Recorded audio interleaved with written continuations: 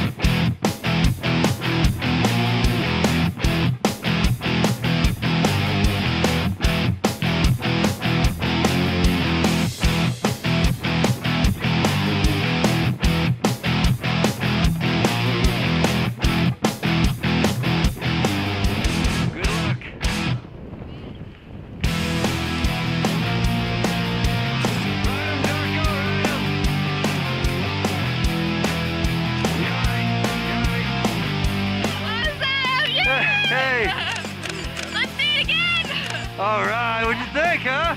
That was amazing. Pretty cool, huh? So so cool. All right, good job. Way to go. Awesome. Thank you. Nice.